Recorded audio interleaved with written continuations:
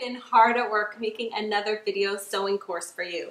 This is actually my overhead camera that goes onto my sewing space and this is my favorite bag.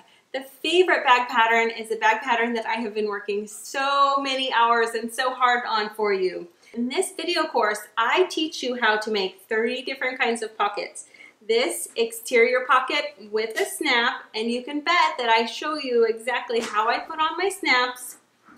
Also, I show you how to make a beautiful welt zipper pocket plus slip pockets which I think that these are just three basic pocket designs that once you know how to make these, you can add these to any bags that you make. And that was one of the reasons why I did this course so that I could show you all of these little elements, all of these different parts that go into my favorite bag. So you can leave out a pocket if you don't want it. You can leave out the front pocket if you don't want it, although I think it's really pretty.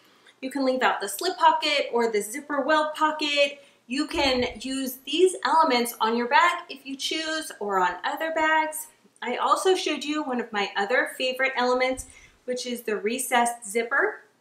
And this is actually a really easy recessed zipper. It's a really easy technique to put this in and there are no raw edges also.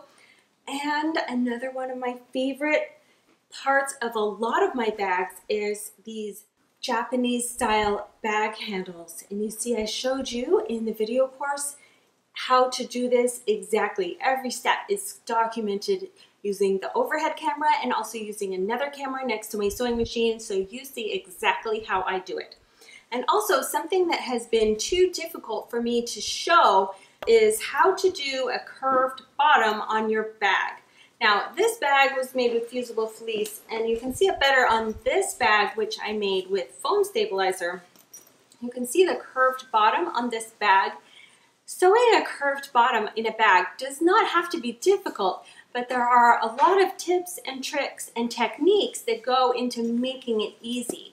And that's the reason why I never showed this before in a photo tutorial is I just felt like I did not have room in a blog post to show all the different little tips that you need to make this easy and successful.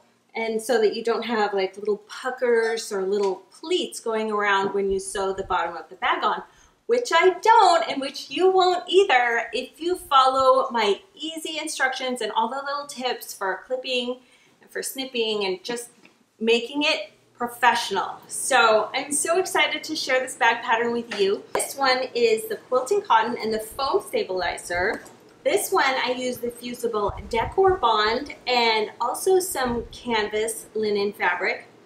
And then this one I use fusible fleece, which I think is the easiest to use. So that's the one that I used in the video tutorial. And so visit my blog for more information. Keep on sewing and I'll talk to you later.